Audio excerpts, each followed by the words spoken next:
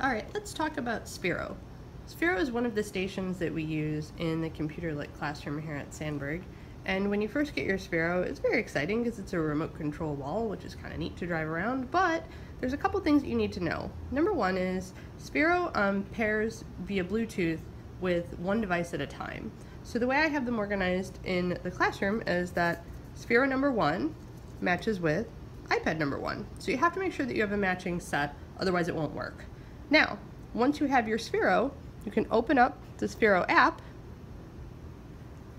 and you may find that it starts to run and it's searching for a Sphero. Well, my Sphero has to be on before it can actually find it. And the way that you wake up a Sphero is you give it a little shake or a tap until it lights up. Now, Sphero is being searched for, but this time my Sphero connected all on its own. So this is very lucky and you can go ahead and play and start using your Sphero. Occasionally though, your Sphero doesn't get found right away. Here are some things you can do to troubleshoot that situation. First of all, double tap your home button and quit any other apps that might be running, including the Sphero app itself. Sometimes it just needs to be reopened and refreshed in order to work correctly. You can also go into the settings on your iPad and check the Bluetooth connection.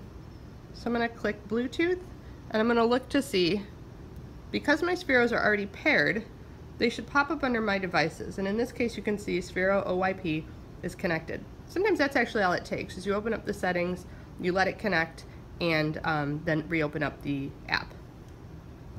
Sometimes you do need to hit the little information button, and where I see a disconnect right now, sometimes there's actually a button that says connect. So if it's not connected, you can hit that connect button and that sometimes is enough to refresh it and wake it up. Another thing that I do sometimes if I'm really having trouble is I will shut down the whole iPad and restart it.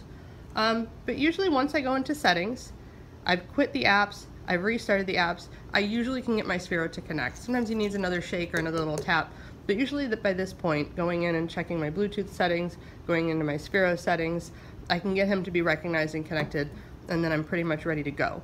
Now, before you just start driving your Sphero around, there's one more thing that you need to know, and that is how to calibrate your Sphero.